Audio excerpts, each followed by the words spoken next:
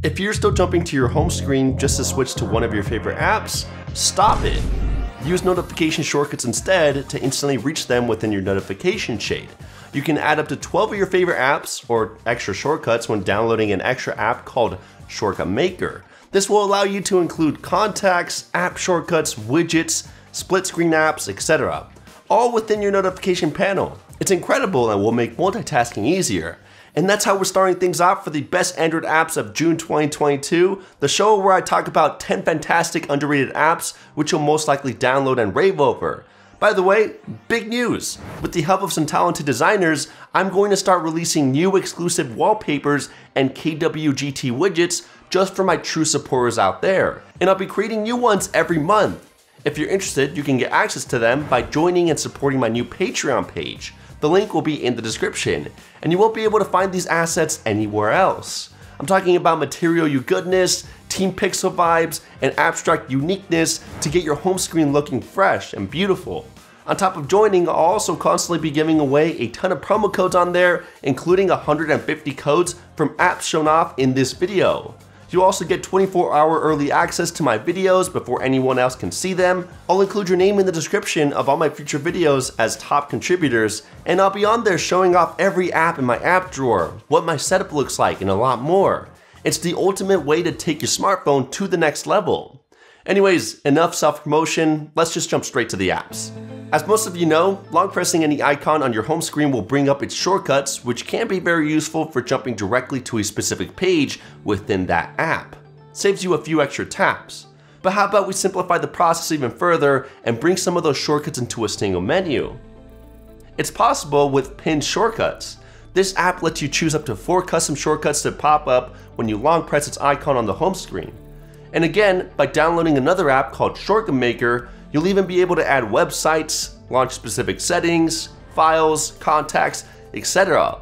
All on this app's shortcuts. Doesn't get any better than that.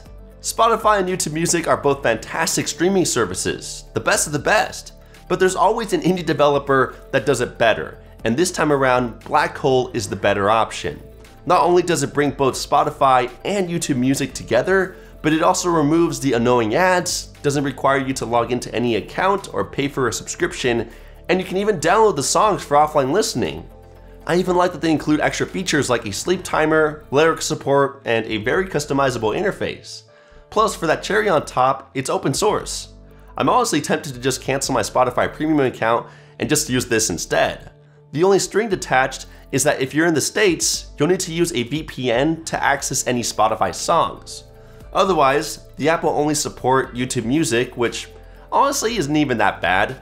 Overall, a spectacular streaming service app, and a huge thanks to MidHunt956 for recommending this app to me on my subreddit page at HowToMen. If any of you recommend an app or game to me on there, I'll choose it, and I'll be sure to shout out your name in the next episode. Here in the States, we use Imperial units, which is a huge annoyance to everyone else in the world who uses the more obvious metric system.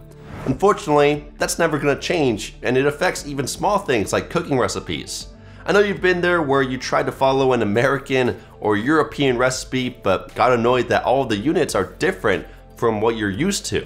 How much is 1 cup in deciliters, or 12 ounces in grams, or 500 grams in US cups? It's a headache. Well, this app called Measury will easily do the conversions for you by simply letting you snap a picture of the recipe, scanning the picture, and then it will convert everything on its own. If it's a teaspoon of garlic powder, it'll show you it in milliliters. If it's a cup of mayo, it'll convert it to grams or deciliters. Or if it's something in pounds, it'll convert it to kilograms.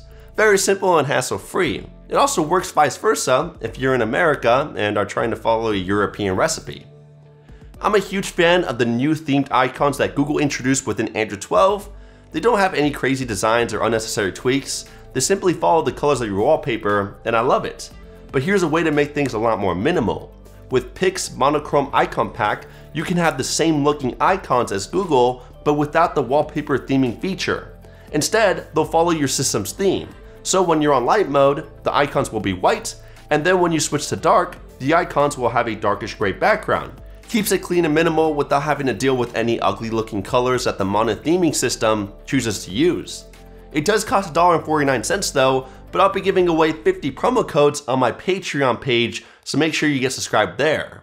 A new smartphone competitor called Nothing is releasing its first phone this summer, and a lot of people are a bit disappointed with their first event because they didn't really show much. Still, there's one thing that caught my attention, their widgets. I honestly thought they were refreshing and unique, so I set out to find the best app on the Play Store that could replicate them, and I came across Nothink. This KWGT widget pack comes with all the standard Nothing OS widgets and a few extras including the famous dotted digital clock and at a glance widget. There are also a few alternative analog clocks that look amazing and a few random widgets like the weather, music player, battery, the news, and even a calculator. The best part is that you can quickly turn them from a dark theme to a light theme within their KWGT global settings. It does cost a dollar, but I'll be giving away 50 promo codes for this app on my Patreon page if you want to download it for free. Nowadays, most phones don't have enough storage space, especially if you have a base model of 128 gigabytes, since apps and media will fill it up quickly. And instead of buying a more expensive phone, you can simply back up your data to the cloud to free up the space. It'll even lessen the worry of losing any files, even if something happens to your phone. Although there are plenty of cloud services out there, Terabox, the sponsor of this video, is a fantastic option. Unlike its competitors, Terabox gives its users over a thousand gigabytes of free storage space to use without paying a single dime. That's literally insane. So you can literally back up over 3 million photos, 2,500 video files, or over 6 million document pages. It's a lifetime support of storage space where you don't need to worry about running out. Plus, you can bet that with every uploaded file, your data will be secure and safe since Terabox's security is top notch. I even love that when I back up any files, they don't limit the download or upload speeds. Everything is put in just one Terabox. Then, whenever you switch to a different device, it doesn't matter if it's an Android, iPhone, iPad, or desktop, all of your uploaded data will be easily accessible, even allowing you to transfer the files seamlessly. So if you like a free and easy to use cloud service that gives you a thousand gigabytes of free storage space out the gate, make sure to download Terabox through the link in the description. Moving on to the games, Gunfire Reborn is one of the most addicting first person shooters that I played in a while. Not just because the graphics look great or the controls are on point, but because the action is fantastic. Each time you play, you have to get through 5 stages before moving to the next world, and it gets pretty intense as you start to progress because there will be monsters all around you trying to kill you and shoot at you. Each time you kill one though, they'll drop different types of loot like coins, mana, or even weapons so that you can upgrade your equipment and become even more invincible. But even with all those upgrades and perks, I still end up dying plenty of times, especially on the boss fights because one hit from the enemy and it will cause your health to deteriorate almost instantly. Still, it's entertaining and you won't want to put your phone down until you beat the final boss.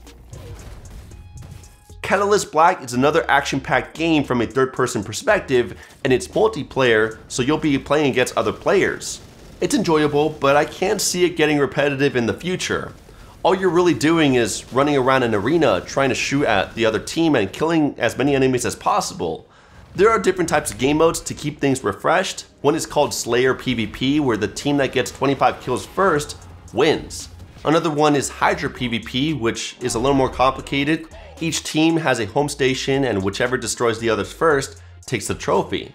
At first it's going to be really easy and you'll be playing against a bunch of noobs, but after a few matches, you'll start to play against higher level players and that's when things will start to get really challenging.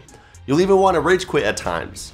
Luckily, after each match, you'll receive new guns and gear, which you can equip and upgrade to become even stronger. It's amusing and free, so why not check it out? Magic vs. Metal has a very similar strategy, but it's not multiplayer, and the attacks are a lot more creative. You either get to play as a giant metal robot, or a really creepy magical monster. You can try out both though by switching to each world, and each monster has unique attacks, which is pretty sick. On the battlefield, you'll get to destroy the other faction by spawning large amounts of troops or launching large attacks at the enemy. It could be missiles or giant bolts of magical lightning. It's crazy. And to win, you'll either need to kill off the other army, or you'll need to destroy the enemy's base, which is just a giant magical wall.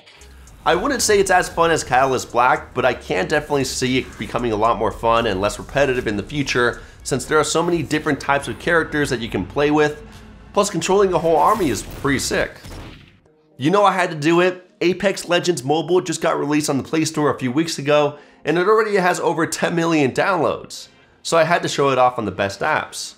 It's the new Battle Royale franchise, and it's honestly just as fun as Call of Duty Mobile or Fortnite and a refreshing take. If you've been living under a rock, Apex Legends is a battle royale game where you'll join a random team and try to take down others on a giant map until you're the last one standing. It's really fun since you'll always need to be looking for better guns and perks randomly scattered around the map, all while avoiding leaving the safe zone, which shrinks every minute, and trying to kill other players that you come across. The graphics are fantastic, but it can make your phone really hot after 30 minutes of gameplay, and that's when large battles will make your phone really laggy. So I definitely recommend lowering the graphics if you're on a lower end device. I also really like that the controls are adjustable, just like Call of Duty Mobile, and there's controller support for anyone who wants to take things to the next level. Unfortunately, since it just got released, there are still a few things that aren't supported like movable vehicles, helicopters, etc. Either way, it's a fantastic game so far, and I'm excited to see how it progresses with every new season. Anyways, those are the best Android apps of June 2022. I hope you guys ended up downloading at least one or two apps. And if you did, a quick thumbs up would really go a long way to helping this video reach other people. Make sure you get subscribed with the notification bell turned on as well, and make sure you also check out my Patreon page through the link in the description, because I'll be dropping over 150 promo codes on there to the apps that I just showed off in this video, and providing exclusive KWGT widgets and wallpapers. Either way, thank you all for watching and sticking to the end, and I'll catch you in the next one. Kapow!